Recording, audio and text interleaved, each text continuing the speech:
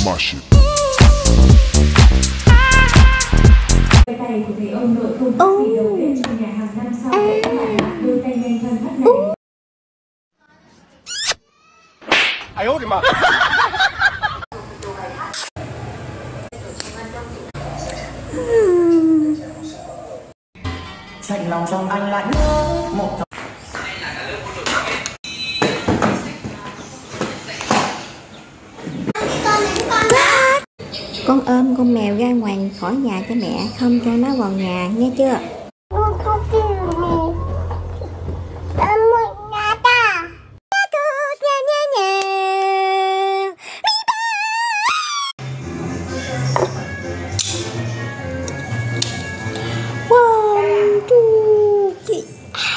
That's I love Nestle Crunch.